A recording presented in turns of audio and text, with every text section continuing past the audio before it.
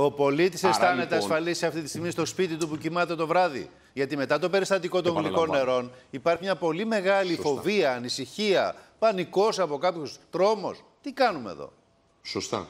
Η απάντηση λοιπόν είναι το κατά πόσον βελτιώνεται η κατάσταση από πλευράς εγκληματικότητας και από πλευράς παρέμβασης ή όχι.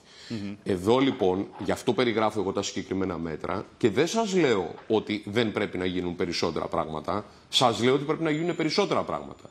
Κυρίως, αν με ρωτάτε, κατά την άποψή μου, περισσότερα πράγματα και είμαι βέβαιος και το Υπουργείο Δικαιοσύνης θα αναλάβει σχετικές πρωτοβουλίες, πρέπει να γίνουν στην κατεύθυνση της αυστηροποίησης των αναστολών, ώστε να μην έχουμε εγκληματίες οι οποίοι αποφυλακίζονται και επανεγκληματούν. Πρέπει να υπάρχει ένα πολύ πιο αποτελεσματικό σύστημα κρίσεων στο επίπεδο των αναστολών και ξέρω ότι το Υπουργείο Δικαιοσύνης μελετά ένα τέτοιο σύστημα, καθώς θα σας πω ότι κατά τη γνώμη μου πρέπει να υπάρξει και ορισμένες, σε ορισμένα σημεία αυστηροποίησης των ποινών του ποινικού κώδικα που γίνανε πάρα πολύ επίοικες και χαλαρές μετά Για την τελευταία συγκεκριμένα μεταρρύθμιση που έκανε ο δικήματα, ΣΥΡΙΖΑ κύριε Υπουργέ.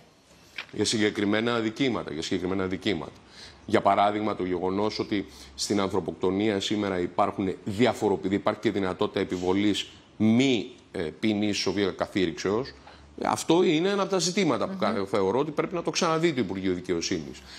Υπάρχουν ενδεχομένως ζητήματα αυστηροποιήσεως, κυρίως όμως λέω στο επίπεδο της ποινικής μεταχείρισης, στο επίπεδο των αναστολών. Οι αναστολές έχουν γίνει πάρα πολύ χαλαρές και σχεδόν τυπικές. Δηλαδή δεν κοιτάζεται τίποτε το ουσιαστικό, εκ του νόμου, όχι ότι φταίει ο δικαστής Ναι, ναι. αυτό. Δεν υπάρχει μια ουσιαστική Παρά μόνο ο κρίση, χρόνος. Αλλά παρά μόνο το θέμα της, του Μάλιστα. χρόνου της Ναι, ναι, ακριβώς. συμπληρώσεως της εκτιτισωμένη ποινής. Της εκτιτήση ποινής.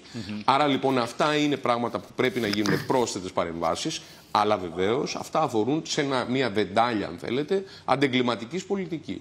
Εγώ θα σας πω ότι και άλλα πράγματα πρέπει να γίνουν. Θα πρέπει να ενισχυθεί η προσπάθεια της επανένταξης. Άρα θέλει να δαπανηθούν πόροι για να δούμε πώς πραγματικά μπορεί να υπάρξει αποτελεσματική αναμόρφωση